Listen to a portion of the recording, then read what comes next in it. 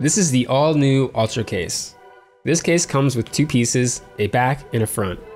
On the back, there's a cover that is covering the built-in AirTag inside.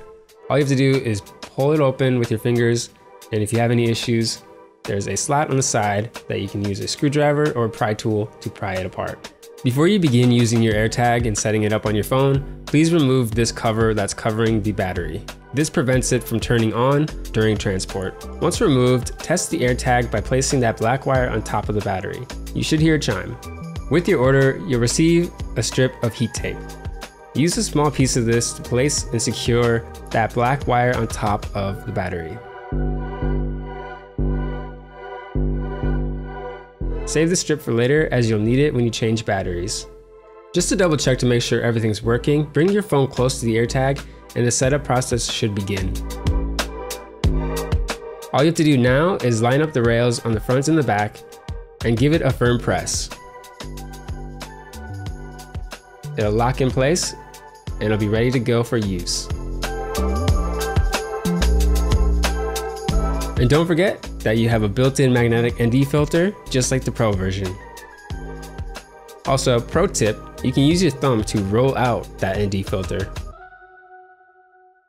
Now you probably won't change the battery more than once a year, but I'm gonna walk you through the process for when that time comes.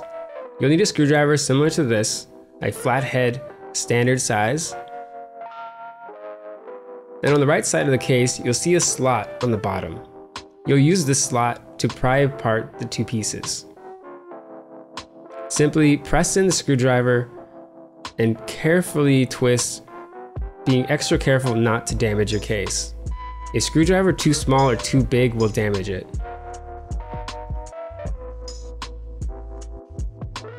Once apart, you'll want to remove the negative and positive wires from the battery and place them on the new battery.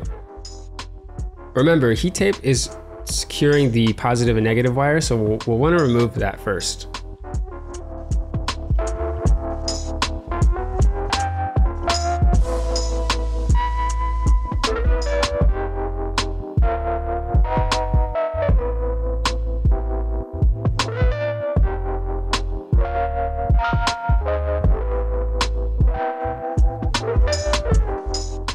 I found it easiest to put in the battery backwards so the positive will be on the top and that's how you can put on your positive wire.